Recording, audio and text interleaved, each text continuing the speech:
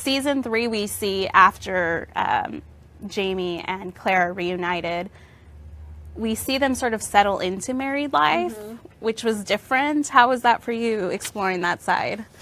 It's really nice. You know, I think with any when you're on a show for a long time, um, you want you want to try out new things, and you know, usually people want excitement, right? Because usually Yes. the norm is more quiet and subdued. But in in the respect to Claire and Jamie, excitement is their norm. So it's actually nice to see them